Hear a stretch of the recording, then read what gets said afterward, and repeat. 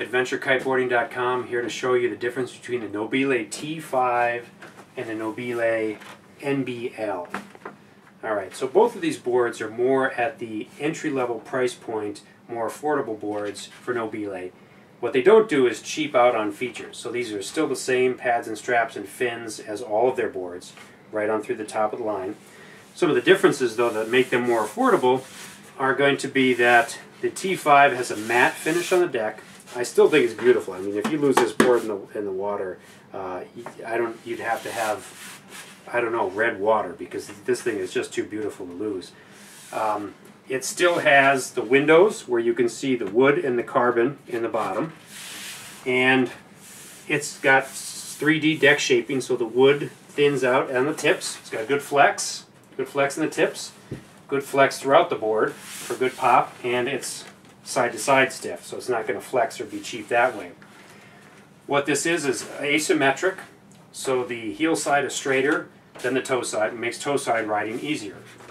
The NBL, on the other hand, is a bigger board. This is a 142 by 40. Again, a matte finish. It's going to be a little flatter on the bottom with a single concave and flex in the tips, but overall a more stiff board so that the person just learning to get up and ride upwind is going to be able to do that without too much trouble. And it comes with larger 55 centimeter fins and the sharp rail which will grip you, get you good grip for upwind.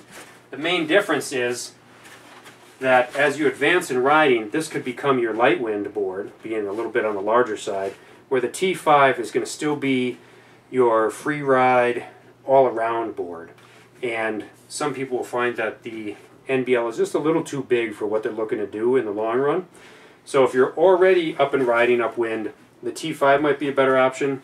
If you're just entry level and you want to get going, the NBL will be a good option. And then as you get better, you can buy a smaller board for higher wind.